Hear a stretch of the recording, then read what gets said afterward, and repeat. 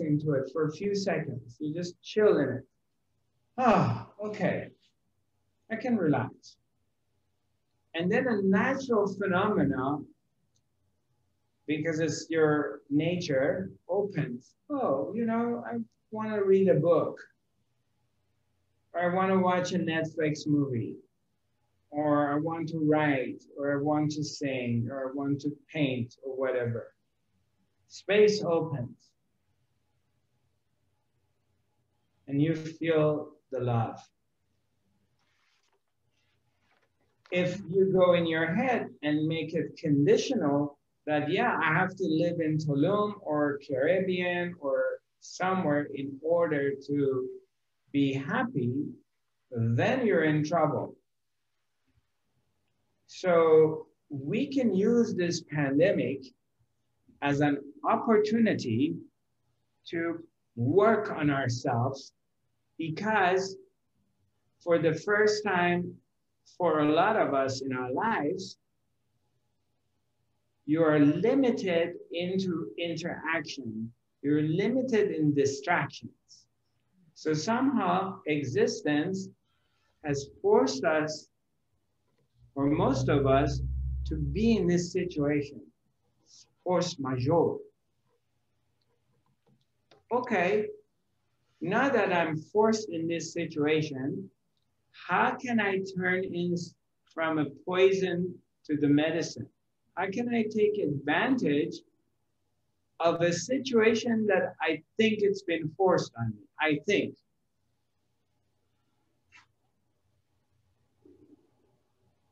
Okay, now I'm in this situation. Existence has put me in this thing that, hey, Maybe next year the whole humanity is wiped out. Okay, so fucking what? Far out. I prefer the whole humanity ends because we're all going to be together. Because I don't want to be here as a single person and everybody else is dead. It's not fun. If everyone's going to die, I want to go with them. I don't want to be here. So, what am I going to do with these months that I have? I'm going to do everything I wanted to do because I only have one month. But now, forget about the month. What am I going to do right now? In this moment. So let's use this opportunity to learn how to be here. Since you're forced, you can't go out and the mind cannot get distracted with external distractions. I can say, I am in a Tibetan monastery in Tibet, and my job is to be here. This is what I'm doing.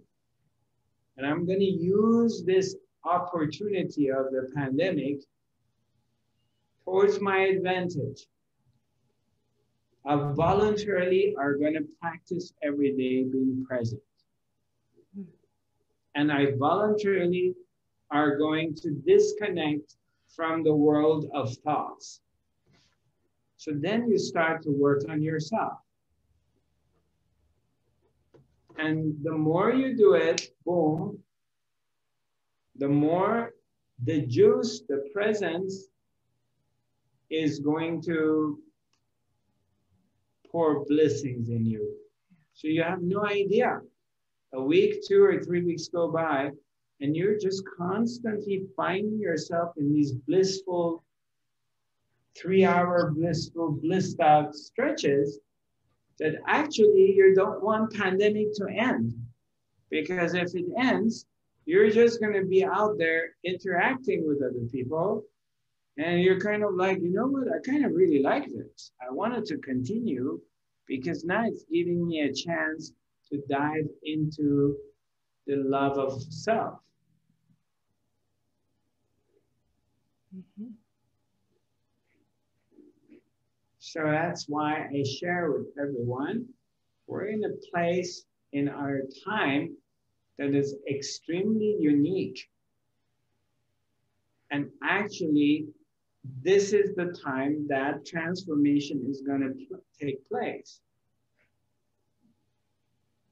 Because all of my major transformations in my life were either near death experiences, or I was heartbroken, a woman broke, or girl, a woman broke my heart, or someone close to me died, or I lost everything. And it forced me into growth. It forced me to do more inner work and dig inside.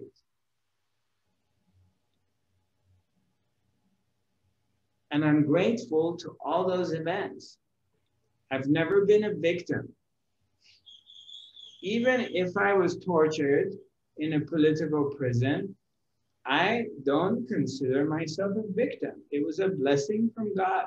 I had to go through that to learn and to grow and evolve to the next level. That was a wonderful question. I hope I was able to answer it.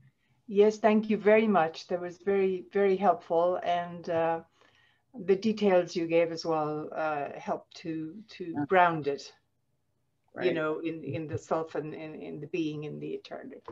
So thank you. You're welcome. You're doing a good job, my dear. Thank you.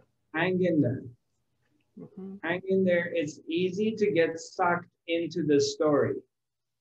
It's very easy to forget that the trust of trusting the boss, the one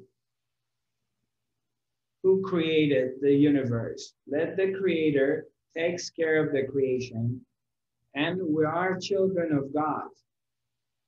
Some intelligence brought us into this world, and we are its its responsibility. Let the one who has brought us into this world take care of us. We don't need to worry about that. Let's recognize the presence of this intelligence in our lives because maybe it's trying to get your attention.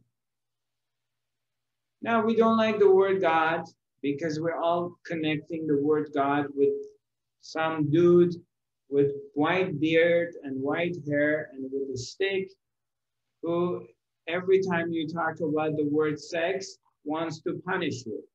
Okay, let's not use the word God. Let's use the word consciousness. Her Majesty, the Supreme. But something, a bigger intelligent presence is running the show, is making this planet turn around itself.